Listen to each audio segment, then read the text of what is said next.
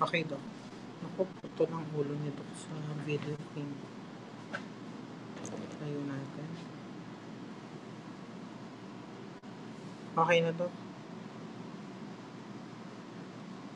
Good afternoon, magandang hapon po sa inyo lahat and welcome to our webinar this afternoon brought to you by East Asia Veterinary Products Incorporated. I would like to start our discussion this afternoon by telling you that in the past webinars, we have already featured different aspects, particularly in pork production. We started with the item on biosecurity and disinfection, followed by our technologies and products in order to prevent and minimize stress that would greatly affect the health status of the animal and reflect on the profitability of our pork production, also with uh, food animal producing animals like chickens. Also, we were able to discuss some aspects about phytochemical, phytonutrients, in particular liver tonic. And also, we discuss supplements on vitamins, minerals, electrolytes in order to address stress factors and disease conditions in food animals just like pig, chicken, small ruminants.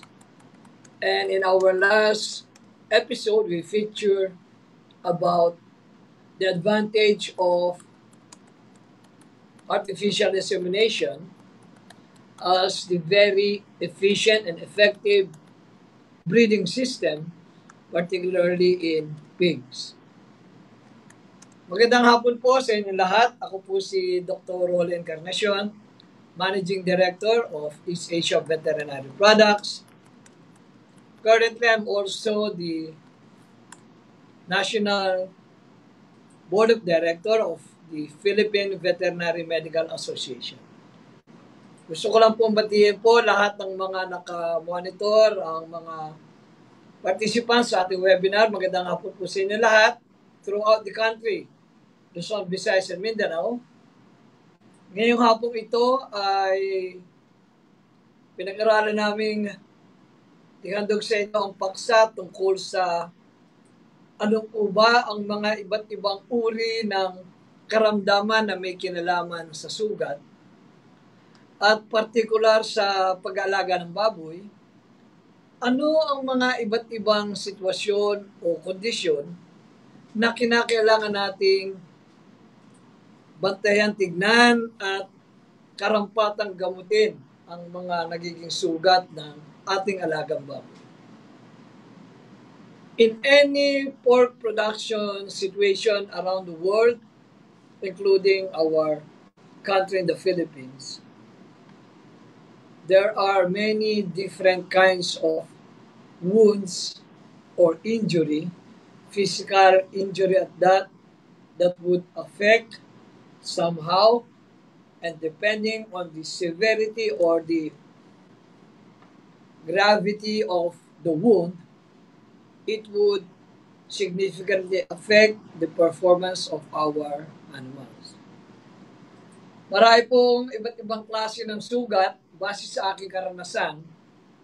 So may 30 taon na pakikipag-ugnayan sa iba't ibang lugar sa Pilipinas tungkol sa pag-aalaga ng baboy. Ang pinaka-common na makikita po natin ay dalawang bagay. Yung pong gumawa po tayo ng sugat dahil may mga kailangan po tayong gawin, kamukha ng pagkakapon, lalo-lalo na sa mga kulig, or castration in piglets. These are what we call surgical incision that brought about wound and what do we do in order to make it less bloody or hindi masyado madugo and how we can make the wound incision come to recovery and become normal again.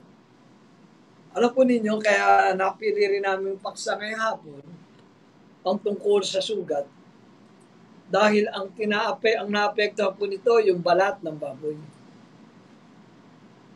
Pag tinignan po natin, mahalaga ang balat sa ating alagang baboy because skin is of primary importance because this is the first line of defense in preventing a lot of diseases or physiological impairness or malfunction in the animal.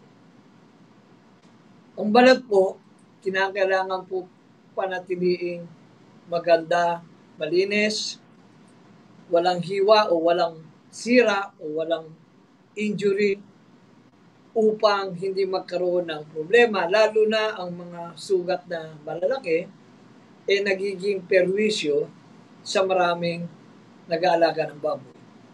Bukod sa pagkakapon, ang mga nakikita po nating sugat na kinakailangan inaasikaso natin mabuti o hinahanapan agad ng lunas, yung po tinatawag natin shoulder sore. Yung pong mga balikat ng ating alagang inahen o barako na nagkakaroon po ng malalalim na sugat sa balikat gawa ng paghiga o sadyang nagkakaedad ang baboy, lalo ang inahin at barako, naaapektuhan po yung kanilang mga balat. Kaya po itong commonly observed areas of wound or injury yung pumbalikan. Sa piglet, pag nagkapunta tayo ng unang linggo, when we do castration in one week old piglet, we do surgical incision. The smaller we castrate a piglet, the smaller incision it would require. Therefore, the wound is smaller. So, therefore, recovery and healing is faster. Kaya po pinapayo natin palagi, hindi na po nagkakapon ngayon ng mga tatlo, apat o pagkawalay ng piglet. We normally do castration as early as one week of age in order that for the animal to remove their testicle, you would just be needing a small surgical incision. Palalabas yan ng bayag, we will take out the testicle and then remove it and then put some medication in it. Mamaya po, babanggitin ko ang ating uh, produkto. Ito po ang pinakamabisang solusyon o gamot. Pangatlo pong sugat na palagi natin nakikita, lalo sa mga breeder animal, inahin, dumalaga, barako. We often see in gilts, in sows, in boars, what we call as hoof injury, normally caused by bacterial organism causing a condition called foot rot. Yung pong parang nasisira, nababakbak o nabibiyak ang puko ng ating alagang tinahin, lalo-lalo na. Madalas na nabababad sa tubig, madalas na tumatama sa bakal. Pag nagkaroon ng kapirasong sugat, magkakaroon ng bacterial contamination, particularly Staphylococcus or any other organism, that would cause a major or deep-seated injury or wound in the hoof of our breeder animals. So ang sugat po, panagkapun tayo, sadyang ginawa natin, yung pong mga sugat sa balikat ng ating mga matatandang inen o barako. Minsan, pangatlo po yung foot rot. Pang-apat po, nakikita nyo, na ginawa din natin, pagka nag-ear tayo, ginugunting o ginugupit ang tenga upang markahan ng numero for identification purposes Panlima po, pagkawalay ng piglet. Minsan po, nagkakagatan, tenga at buntot. Tail biting or ear biting is a common injury in piglets, especially if they are placed in a crowded or a small space, not sufficiently enough or comfortable with the piglets. Ano pa ho ba ang mga sugat? Minsan po, by accident o trauma doon po sa kulungan o kaya pagsampa sa mga bakod o kaya sa pintuan ng mga kulungan, doon po nagkakaroon ng sugat. Kuminsan po, dito po sa umbilical air, area, eh minsan po nagkakaroon po ng mga hiwa o sugat. In short, we would always have to take a closer look, find immediate remedy on how we can soonest possible prevent any small or big or deep-seated wound to get infection. Balikan po natin ang integumentary system ng ating baboy, yung pong balat.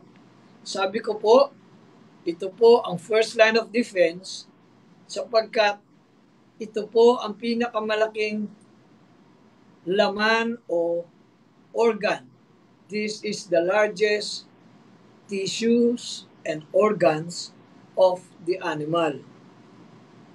Karamihan po, palagi na lang nagkakaroon ng problema ng sugat kapag nagkaroon ng problema sa sustansya o nutrisyon, nahapo o na-stress ang hayop, gumawa po tayo ng procedure na kinakailangang sugatan o maggawa ng hiwa. Pangapat, minsan po sa kulungan, minsan po sa paghiga ng baboy, minsan po aksidente o trauma nakakasugat po. Bakit po mahalaga na panatiliin natin ang integrity ng skin? Una, first line of defense at meron po mga derivatives o accessory na kasama ng balat, nandiyan na po ang balahibo o buhok, kuko, sungay sa mga small ruminants o large ruminants. At meron pong mga accessory pa na parte po yung sebaceous gland, kung saan po napoproduce ng oil o langis ang balat, o yung tinatawag nating sweat glands o nagpo-produce ng pawis. Ano po ba ang uh, kahalagahan ng maganda at pinapanatili natin malinis sa balat sa ating alagang baboy. Protection po ito sa sobrang init at lamig. Mahalaga po na ang sensation po o ang pakiramdam ng baboy ay ating makikita rito. Ang balat po ay maraming nerve endings, skin, as part of the integumentary system contains a lot of nerve endings. Kaya po pagka nakaramdam sila ng konting init o lamig, nararamdaman ng buong katawan kapag ito'y lumapit o dumapo sa balat. Ito rin po ang nagko-control ng evaporation upang hindi ma-dehydrate ang hayop by releasing a lot of moisture and fluid or liquid coming from the animal's body. Ito rin pong balat ay nag store po ito ng lipid o protina at ito po'y bahagi sa proseso ng synthesis ng ibang sustansya katulad ng vitamin D. Hindi po ba, pag lumabas tayo sa araw, nakakakuha po tayo sa sunlight ng vitamins, kamukha ng vitamin D, upang mabigyan ng karagdagang proteksyon ng ating balat, nakakadagdag upang lumakas ang ating pangangatawan. Ito rin po ay mag, magkakaroon po ng function pagdating sa absorption. Also, meron din po itong importance pagdating sa protection para hindi nga po mawala ang liquid sa katawan ng tao. Absorption, heat and temperature regulation is one of the more, more important function ng ating balat. So kinakailangan po panatilihin nating malinis o maganda ang integridad ng ating balat o ang balat ng ating mga alagang hayop. Pag nagka-problema po ang balat, dalawa po ang dahilan. Maring non-infectious o infectious. May infeksyon o wala, at ito may infeksyon o karamdaman. Ano ang mga natural? Pagka po nabilad sa araw, namumula po ang ating alagang baboy. Kung minsan po, kinakailangan maglagay tayo ng kurtina. Lalo yung mga buntis na baboy, hindi pa pwedeng naiinitan o naaarawan. Pangalawa po, yung po tinatawag natin infectious, ano ang mga cause? Dahil lang po ng pathogenic organism, bacteria. Meron pong fungal o yung mga tinatawag nating dermatomycosis. Meron din pong viral ang cause. Halimbawa po,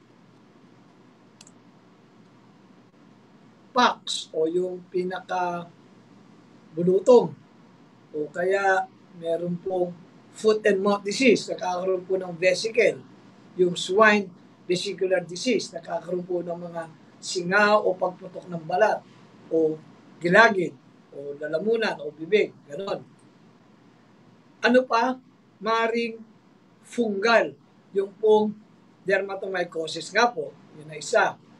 Meron po bacteria, lalo-lalo na kapag nagkaroon ng break o nagkaroon ng sugat sa balat. Anong nangyayari po pagkaraniwan pagka nagkaroon ng sugat ang baboy? Meron pong tinatawag na wound healing process. Ito po ay magdudugo o magkakaroon po ng hemostasis. Bakit? Magkakaroon ng blood clot sa pamamagitan ng platelets. Kaya po kung normal at walang karamdaman ng ating baboy, kapag ito'y nagkasugat, okay na po natin, sinugatan natin, sa loob ng dalawa, tatlong araw, natutuyo, gumagaling. Bakit? Nagkakaroon ng platelets, nagkakaroon ng hemostasis, tumitigil ang pagdurugo. Pakarani ng araw, isa, dalawa, mamamaga. Inflammation is part of food healing. Ah, ang sugat pala, pagbago, dudugo, kapag tumigil ang pagdurugo, kinabukasan mamamaga, inflammation. Part po yun ng para papunta sa paggaling ang sugat. Because wound healing is a natural process wherein wound or skin injury returns to its normal state lalo pag dumating ito na siya ay gumaling na. Nire-repair ng pusa, ng balat, ang sugat sa balat ng katawan ng baboy. Pangapat, maturation. Anong mangyari? Nagde-develop ng bagong tissue, ng bagong laman, blood vessel, nerves, at natatakpan ng langib o ng scalp ang sugat. Yun po ang complete na mangyayari pagdating sa wound healing. Nabanggit ko na po ano ang importansya, bakit mahalaga ang balat. Ito pala ang first line of defense para yung mga mikrobyo na magagaling sa labas, ang unang haharang ay balat. Pag nakapasok nga minsan sa ibang parte ng balat, nakapasok, may mga buhok na yun naman ang mag-i-screen ng mga mikrobyo o alikabok o anumang organismo na maaaring pumasok sa balat. So ano ang kahalagahan? Ito pala ang first line of defense. Ito ang pinakamalaking organ sa katawan ng baboy at may particular function ito at meron din pong proseso kung ito'y masugatan, kusa po itong gagaling, pero pag ito'y na-infection, mahirapan po bumalik. Okay? Ngayon po, nabanggit namin yung aming teknolo- teknolohiya o produkto, ang pangalan Topicure. Topicure, primarily, is a natural spray for comprehensive topical cure and care. Sabi nga namin palagi, this is an all natural cure aerosol spray. Ano po ba ang laman nito? In the new era of phytochemicals, in the technology of health and wellness, in preventing stress and diseases or disruption of the normal activity or damage or injury in the skin or disruption in the continuity of the integrity of the skin, meron po tayo dapat igamot dyan. Presenting again this afternoon, topic yun. This is an all natural topical wound spray for complete topical cure and care. Bakit po? This product is a polyherbal aerosol spray that contains four important ingredients. Meron po itong tinatawag nating curcumin, meron po itong tinatawag nating pine oil, meron po itong cedrus deodora oil, meron din po itong eucalyptus oil. Pinus oil or pine oil is the fourth component. Ano po ang kahalagaan nitong mga produktong ito? Una, yung pine oil that goes with the formulation of Topicure is primarily the one responsible for anti-maggot activity of the spray. Alam po ninyo, lahat ng sugat mag-aanyaya na madapuan ng langaw. All kinds of wounds have the tendency to attract fly and once fly goes contact directly to an open wound, more likely, if it stays long, it will lay eggs and hatch, forming what we call maggots. These maggots will then prevent or delay the natural healing process, delay the recovery to complete healing of the wound. Therefore, you need a material or a treatment that would stop maggots from delaying the healing process. Pangalawa po laman nito, Cedrus deodula oil. After pine oil for anti-maggot, deodorus. Cedrus deodorant.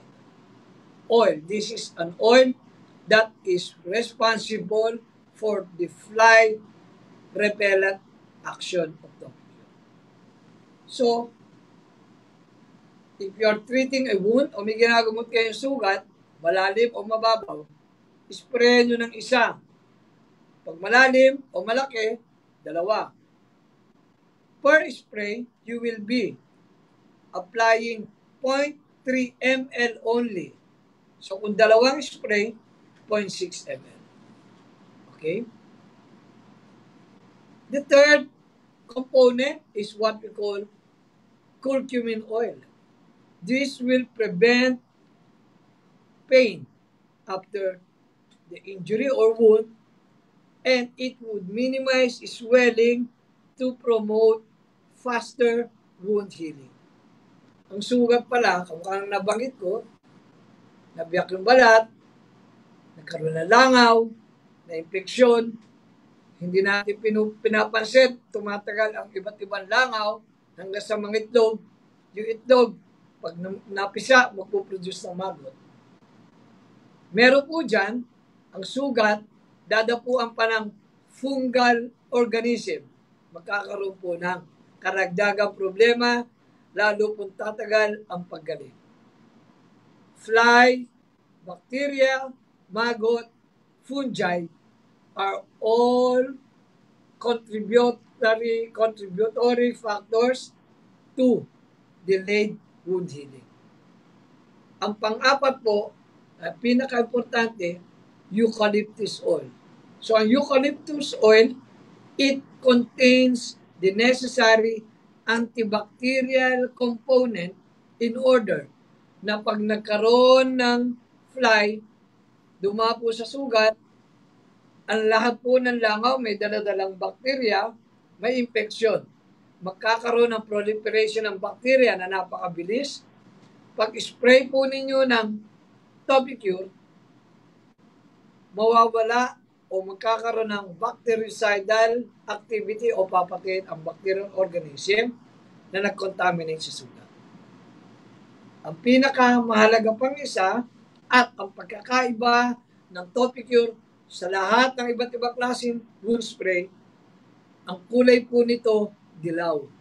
Dahil po sa laman nitong curcumin oil o yung tinatawag natin sa Tagalog na luyang dilaw. It has antifungal.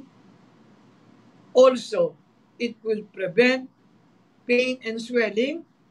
It will also give a particular distinct color marking or stain para kung makikita nyo na, na may kulay dilaw, na-sprayan na po ang mga lugar na yon o na-applyan na ng Topicure.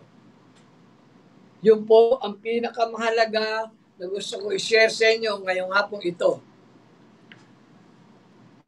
Ano ang summary? Mahalaga na maproteksyon na natin maiwasang magkasugat, kigawa natin by surgical incision para kakapon, o iba pang procedure, kamukha ng ear notching, tail, uh, tail ducking o pagputol ng buntot, paglalagay ng mga uh, ear tag or whatever. Minsan po, yung pag lilinis ng puso, pagtatanggal ng puso.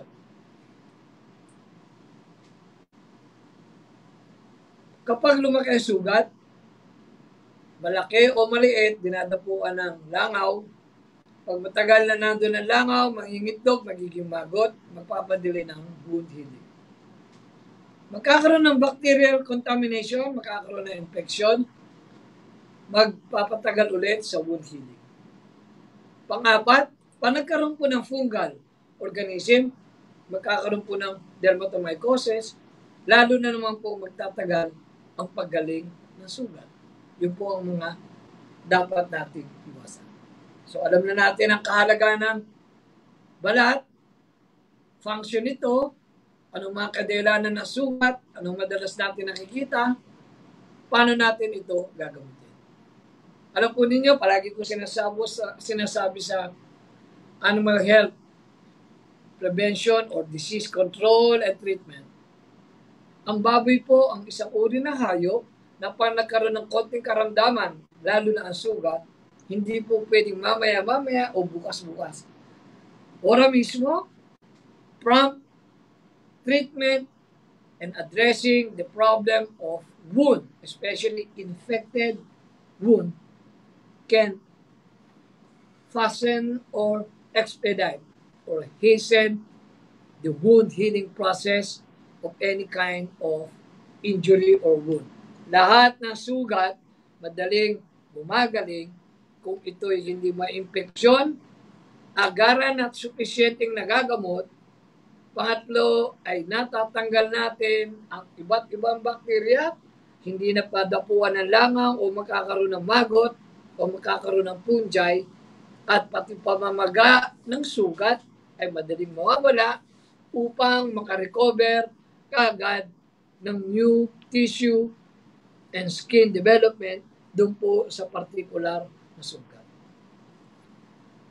Ngayong hapon, maaari po kaming mag alok sa inyo ng aming produkto. 75 ml. Alam po ninyo, pag spray nyo ng isa, 0.3 ml, kaya yung 75 ml will be able to give you 250 sprays and application. Ang presyo po nito, 280 pesos per canister. Maring mahal kumpara sa iba, pero sasabihin ko sa inyo ang pagkakaiba. Una, aerosol spray po ito. Pag in-spray nyo, 0.3 ml lamang. Alam nyo kagandahan sa aerosol? Hindi po, napansin nyo, pagka when you go to a car wash, when you have your vehicle clean in a car wash, it uses power sprayer. Most of it are air and just very few little no water or liquid. Same is true with aerosol spray. It gives you a lot of power because of the aerosol spray and it will stick at the didikit in the wound and it will not drop off o sa Tagalog hindi tutulo. Subukan niyo po yung mga ibang wound spray, lalo yung alcohol base or gentian violet or whatever antibiotic. When you spray, kulay violet, tutulo pa dito. Instead of putting all the wound spray or medication you apply, sticking into the wound or injury, it will, some of it will just go down. Why? Because other wound spray contains water, alcohol, gentian violet, and not aerosol preparation wherein the concentration of the ingredient or activity of the content of the aerosol wound spray goes directly and stays in the wound or injury. Yun po pagkakaiba. It will come out cheaper and economical. It will come out cheaper and economical. Even if you compare it into a bigger packaging of wound spray, if it contains alcohol and water, some of it will just go down and it will not have any efficacy or effectiveness in the wound. While with Topic Cure, once you spray, 1, 2 is enough.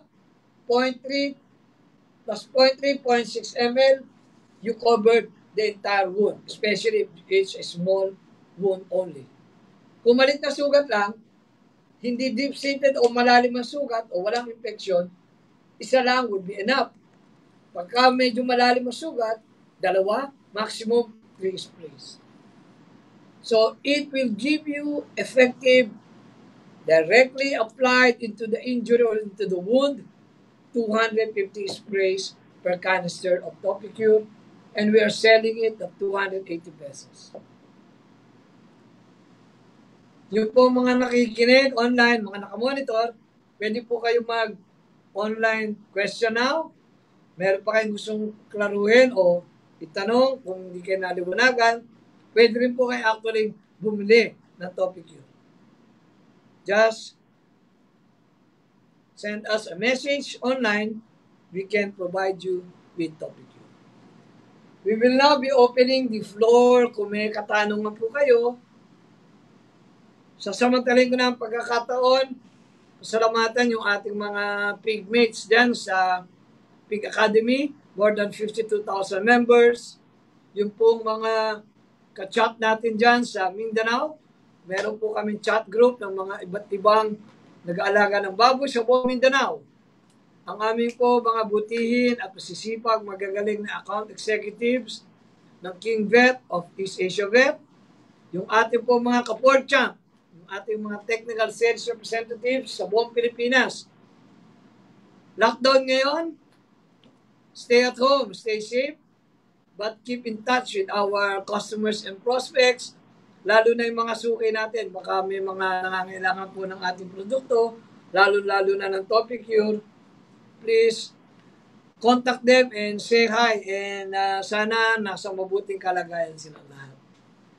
Also, we would like to take this opportunity to say thanks sa aming digital marketing manager, Sir Ian Atienza. Thank you very much of our ideal group of companies. Yung pong ating uh, corporate marketing department no sa panguna ni Miss M. Barbano, ang aming uh, brand manager for East Asia Vet, Sir Sunny Bitancor, and Assistant Brand Kim Rivera. Sa ngalan po ng pamunuan ng East Asia Veterinary Products, in behalf of the management and team of our ideal group of companies headed by our Chief Executive Officer, Dr. Eulalio Ayong Lorenzo, and our uh, big boss, COO, Chief Operating Officer, Sir Manny Berbano, Nagpapasalamat po kami at binigay nyo ang hapong ito upang makapakinig sa aming webinar. Kamukha ng mga nababanggit namin, this will be a regular feature of our webinars Monday, Wednesday, Friday, every 2 o'clock in the afternoon. So, if there are any questions, we will now start answering them for everybody's additional information or clarification. Sir Sunny, go ahead. Okay, Doc. Um, first question po, kung sa manok na may sugat sa gilid ng mata, safe po bang i-spray ang Topicure? The question is if we're going to use Topicure in chickens to be sprayed near the eyes, is it safe? Opo, definitely it is safe. And because of the 100% natural product for component ingredients that are all plant-based extracts or phytochemicals, it is safe to be used even directly in mouth, nose, or uh, in the open wound or castrated uh, wound. By the way, I forgot to mention, other than pigs, you can use it in different farm animals just like small ruminants, sheep and goat, large uh, ruminant like carabao and cattle, horses, chickens, for game fowl, even for racing pigeon, even for quail or duck. All farm animals, even domestic animals just like pets, dogs, you can use it. Topicure being a natural spray for comprehensive topical cure and care, it is safe for application in different kinds of animals. Yes, sir. Next question, Doc. May side effect or harmful effect po ba ang Topicure kapag nakain o nadilaan ng baboy o kahit anong hayop? Is there any toxic effect or side effect if accidentally Topicure was ingested or uh, placed inside the mouth? I have to tell you personally my experience in a veterinary clinic that my son is working on. There are injury inside the mouth of dog, even in the mouth of pigs, we use Topicure. We were confidently using it because knowing the content doesn't contain any chemical or synthetic ingredient in it. It is all natural, 100%. It is safe. Even though you ingest o kahit po mainom, makain o malulod, wala pong problema. That is one big advantage of Topicure. Other than when you spray, it will not drop off o mawawala sa sugat. Everything, every application you give will stick to the wound or injury. Okay. Next question, Doc. Ah, ano po ba ang pinakaiba ng Topicure sa mga wound spray na nasa market, especially yung Jensen Violet? Opo. One, uh, there are already a lot of wound spray in the market. Some composed of antibiotic with gentian violet and alcohol and water. Some have the aluminum silver spray. Some are povidone iodine. And what is the main difference? Primarily with gentian violet. Gentian violet can dry the wound or injury, matutuyo ang sugat. Pero is that enough to complete the healing process? Maring kulang po. Pangatlo, may mga scientific findings, technical literatures pointing out that gentian violet is carcinogenic or may develop cancer not only in animals but at times to the person regularly using it. If you are commonly or regularly using it as part of your work and job, that might be a problem in the future. Again, Ours is different from the many and the rest. Different color because of curcumin. It comes in yellow. Two, it doesn't have any water and alcohol. Therefore, it is not irritating to the skin. Nagamit ko na ito sa sugat ko. Minsan, nasugatan ako sa paa. Wala po ako naramdaman. Siyempre po, pag spray, yung unang uh, dapo ng uh, Topicure, parang medyo malamig parang yun lang ang mararamdaman mo. Pero yung mga ngate, kaya po yung ibang wound spray, pag binigay nyo sa baboy, may sugat sa balikat o sa paa o sa buntot, ikakaskas nila sa semento para kasi na i-irritate o siguro mahapde, kaya po ganun na reaction ng baboy. Ganun po kasi ang topic. Next, Doc, um, question is, Safe po ba ito sa internal wounds? Opo. Uh, the question is, the safe for internal wounds? I know of many small animal practitioners already using this. Personal experience again in a veterinary clinic. My son and I opened a big tumor in the belly area of a golden retriever, we are primarily suspecting it to be a cancerous growth, but we were forced to debride and clean the tumor because it has an open wound. What we did, we sedated the animal and then we put a small incision, debride or cleaned the tumor, we did not do resection or removal completely. What we did was a topical treatment, removing all the dirt, taking out those tissues that were already considered as non-viable. Then we cleaned it with saline solution. And then finally, we sprayed the open wound of the tumor with Topicure. Know what? After one week, we dispensed Topicure to the owner, told them to clean it every day, once or twice a day.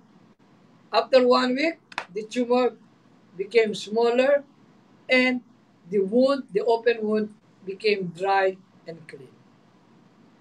So, kahit na na-spray namin sa loob bago nilagyan ng konting suture at nilagyan ng drain, hindi po nakaapekto na lumala ang sugat kung hindi nakatulong ito upang matuyo at gumaling ang sugat. Yes, sir. Next question, Doc. Sa putrat po ba ng baboy pwede yan? Very much. Ganito po ang gagawin ninyo. Lahat ng sugat ng baboy. The question is, is it good for foot rot? Yes. Foot rot is caused by bacterial organism primarily Staphylococcus. Lahat po ng sugat, bago nyo gamitan ng Topicure, clean the wound or the injury very well. You can use water and soap. You can use povidone iodine as antiseptic or cleaning material. And then when it's a little bit dried, spray one or two, that's enough. Always keep in mind, wound heals faster if you clean it and treat it as often as needed. Okay? Sir Sunny, next question. Uh, ano po yung component ng Topicure na nagtataboy ng langaw? Opo, ang tawag po doon, Cedrus deodora oil. They have four components, Cedrus deodora, eucalyptus, pine oil, and curcumin. So yun po, ulitin ko, yung pine oil, yun po ang mag sasagot sa problema ng maggot brought about by fly infestation on the wound. Ngayon, para naman po from the start, ang sugat, hindi madapuan ng langaw, kailangan ng fly repellent, Cedrus deodora oil. Yun po ang naman itong pangalawa. Yun naman po, eucalyptus oil, na third component, that would be containing antimicrobial bactericidal upang mamatay ang bakterya dahil na infeksyon ang sugat. Yun naman curcumin oil, it will make a yellow differentiating stain or marking. It will prevent pain and swelling. Yung pamamagang sobra at sakit ng malalim na sugat, especially if it is a deep seated wound o malalim na sugat, nakaka-delay, nakakabagal sa paggaling ng sugat. Yun po ang action ng iba't ibang apat na component ng topic.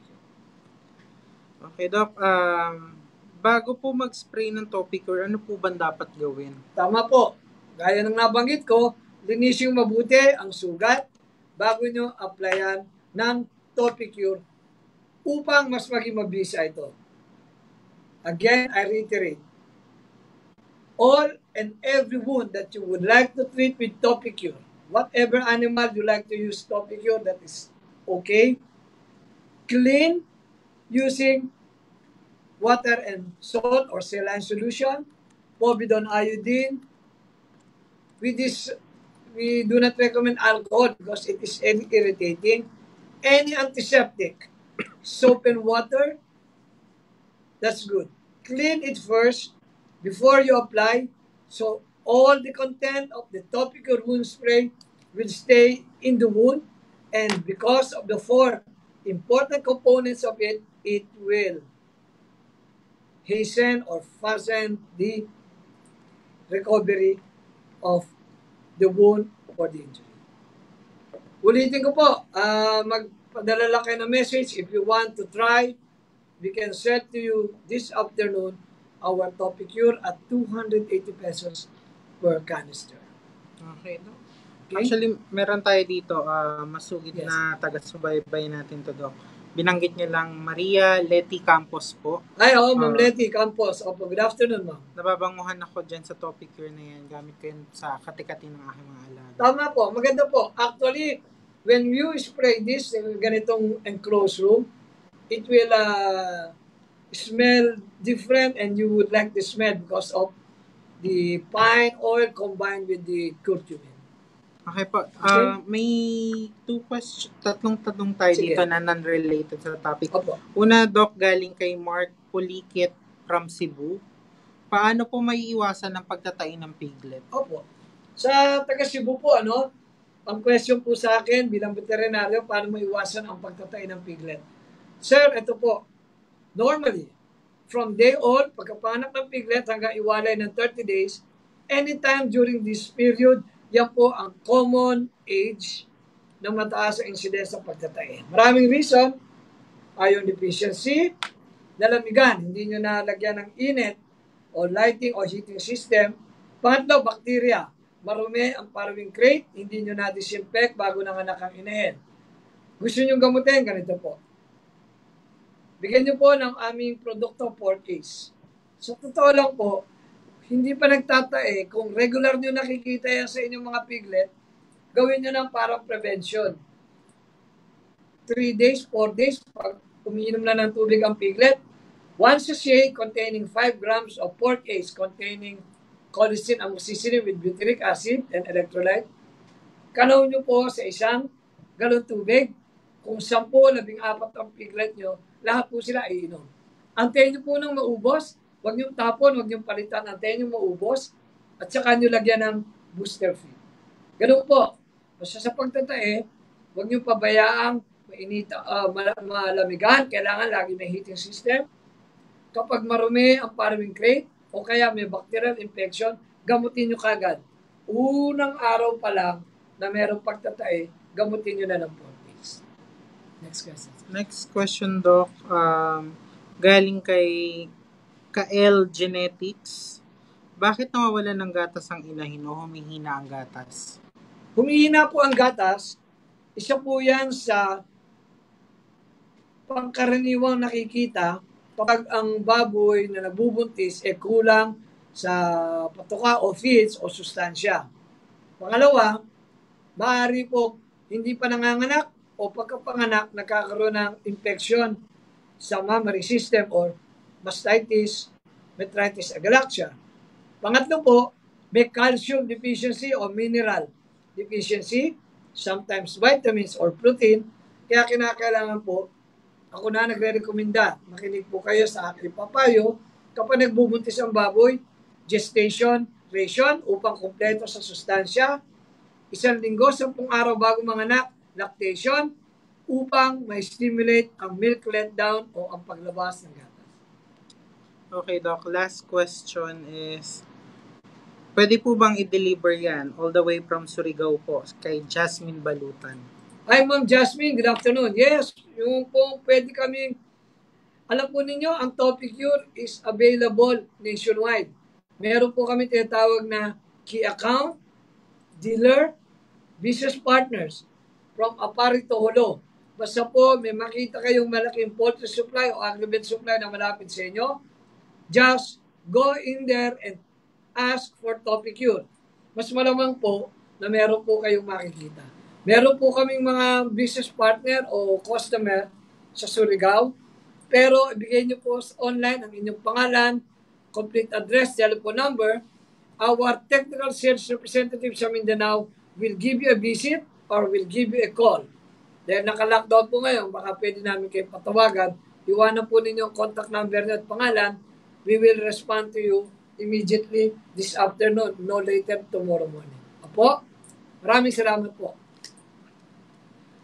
Sa pagtatapos po, magandang hapon. Natutuwa po kami na nandyan na naman kayo, mga ka champ para po sa aming webinar ngayong hapon.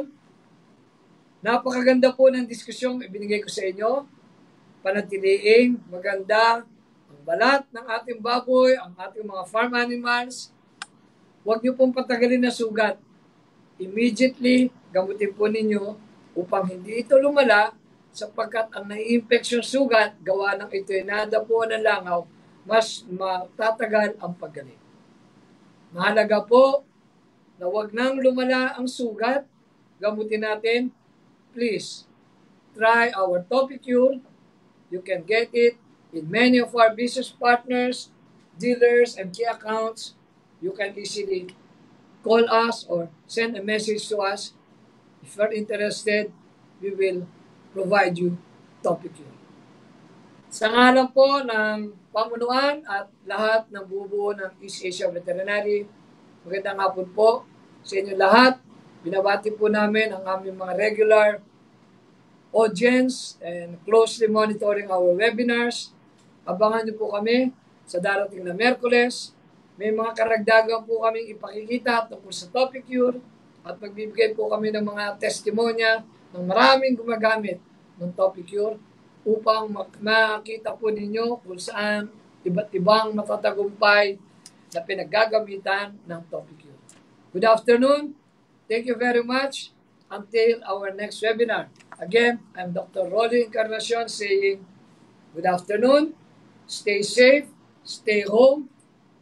God bless you and may God bless our Philippine hog industry and our East Asia Veterinary Products Incorporated. Thank you.